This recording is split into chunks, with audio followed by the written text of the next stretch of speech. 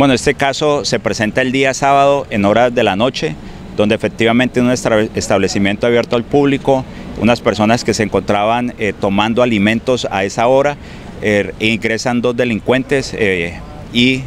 le hurtan especialmente los celulares a las personas, a los clientes de este establecimiento. Igualmente también le hurtan al propietario, al administrador del establecimiento. Eh, en estos momentos estamos en la